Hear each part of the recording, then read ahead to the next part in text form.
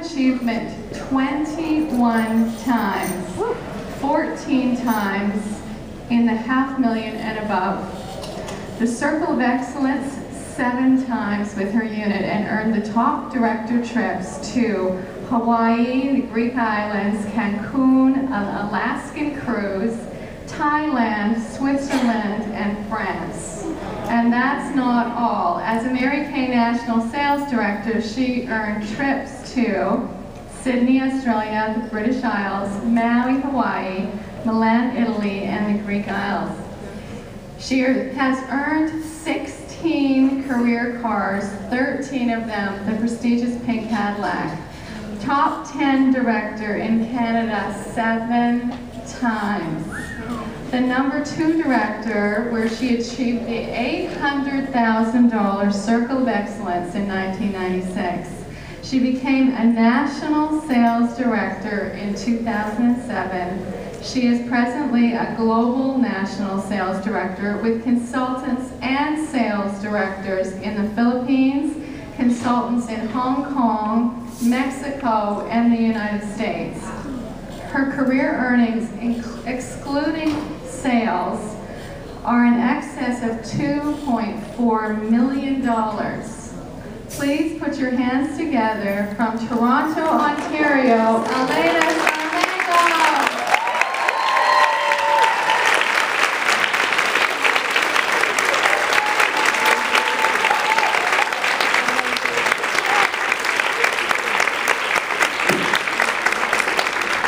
Hello. Hello. I'm finally here in the beautiful city of Vancouver. You know, one of the prayers I had this morning was that, oh dear God, let me go to Vancouver. We had a, a storm, as you know. From the Midwest in the US, we went to Toronto. But as you know, prayers are very powerful, so I'm here.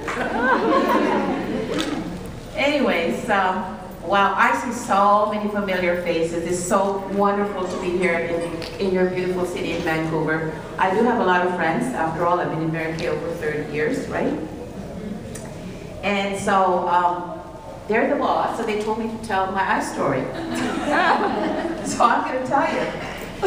When I signed my beauty consultant agreement 32 years ago, some of you probably weren't even born then. I never would have imagined that my little part-time business would lead me to a dream life, a dream life of financial freedom, flexibility, and fun. How many of you like to have fun?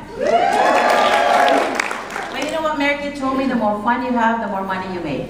Are you going to have more fun now? Mary Kay once said, when you truly love what you do, then you don't have to work for the rest of your life. She also said, find something that you love to do so much that you would do it for free. Then someone else will pay you very well for it. How many of you can honestly say that you're having fun and that you love your Mary Kay business? That is awesome. Before Mary Kay, I was an unhappy, stressed out mother of two young children, exchanging my kids at the Toronto subway with my husband as we took turns babysitting our kids. We thought at first it was a smart thing to do, not having to pay for a babysitter. So we took different work shifts. I worked an early morning job as a secretary, and my husband took an afternoon evening shift in the bank. Every Sunday evening was a depressing and sad time for me because I knew I was going to have to wake up again really early in the morning to the job that I didn't really like. Can any of you relate to my story? As Les Brown said, it was like a refrigerator hitting you every Monday morning. He also said that most heart attacks occur on Monday mornings with people who dreaded going back to jobs that they don't like.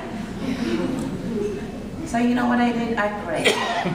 It was really early that one morning I prayed for God to show me another way of life. I said, God, I had a better life than this in the Philippines. Show me another way. I wanted to stay home with my children, Yet I also needed to make an income because I knew we could not survive on only one paycheck. You know, many months after that, because that was in a winter morning, I forgot about my prayer. But obviously, God did not. A few months later, I got invited to a Mary Kay beauty show. We used to call it beauty show. In the office where I work uh, in downtown Toronto. She offered to give me a free facial. And if you know me, if it's free, it's for me. it's free? Sure. So when the beauty consultant turned over this big flip chart, way back we had a huge flip chart, and I saw a picture of Mary Kay, my heart stopped. It was as if an angel, Mary Kay was alive then, so it can't be her. It was as if an angel told me, Elena, this is what you've been praying for. It just clicked just like that. I was so excited, I kept, you know, doing my facial. And I said, oh my goodness, maybe this is the answer to my prayers, right? So at the end of the class, my beauty consultant said, so what would you like to order? And you know what? I pointed at the table, I said, this, I like to order this. How do you get to do this? and you know what? She said, oh, you can't order that. She said, well, how do you get to do Mary Kay? She said, oh, you need to see my director.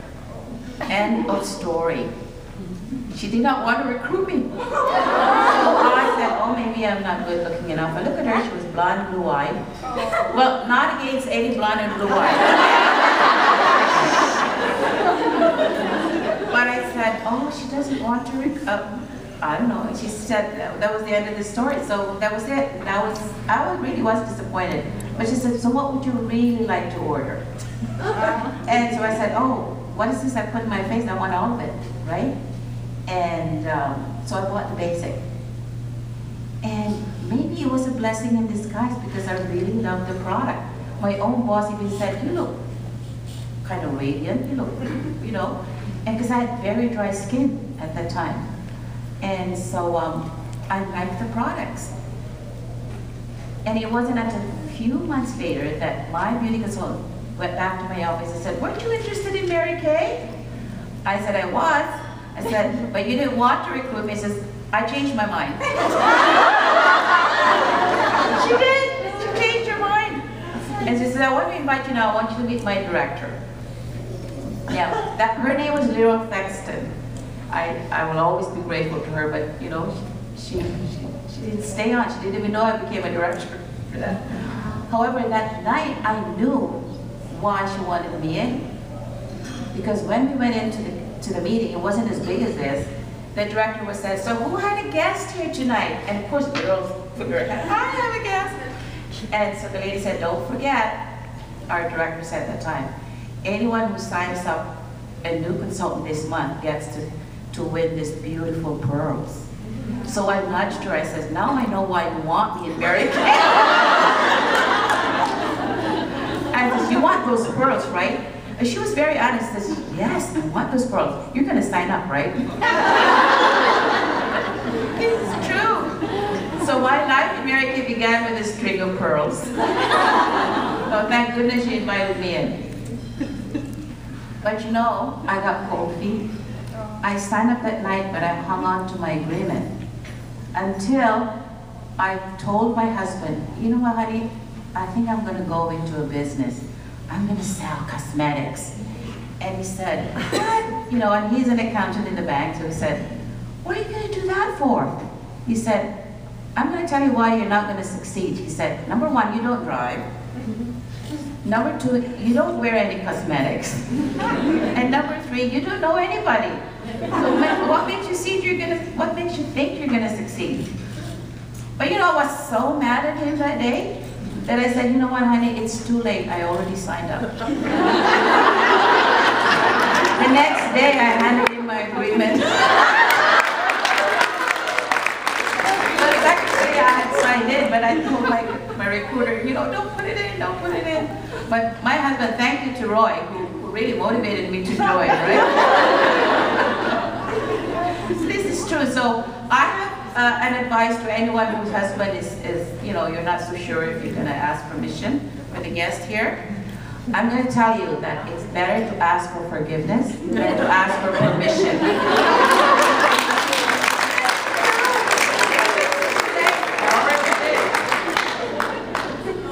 So, anyway, where was I? You know, um,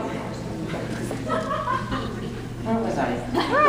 Okay, when I first started, my own recruiter said, don't touch any of our people here, you know, because I was working in Hawker Siddeley, the ones that do those cards. There were a lot of women. And then I understood the reason why she didn't want to recruit me in the beginning. Because she wanted to give a facial to every woman there in the office. She knew how profitable the business was, you know. So like my recruiter, I did not want to recruit. Monkey see, monkey do, right? I said for fear that if I recruit some of my customers, I'm gonna lose them. I'm gonna lose a lot of money, you know? So I told Daryl, I'm not gonna touch anybody here. I'm gonna offer facials. But we were on the penthouse, which was about, I don't know, 50 floors. And so I went to, to the bathroom, ladies' washrooms on all of the other floors. Does that make sense? Every time I went to the bathroom, I would meet ladies there, of course, right? And how you remember the pink palette? We had this gorgeous pink and eye palette. The first side was three color lipsticks, the other side was three color eyeshadows. Every time I would pull it off, just pretending I was gonna, you know, put my makeup on, everybody would say, oh, that's so pretty.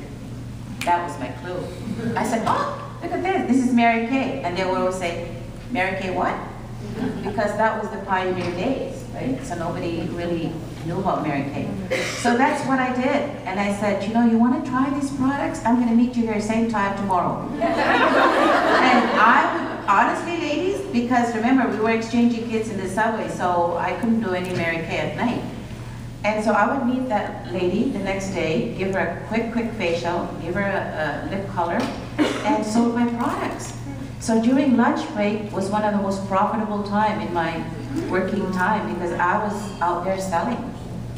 So I feel sorry about ladies who say, I just don't have the time to do Mary Kay. I didn't have time either. I had a full-time job. I had two small kids.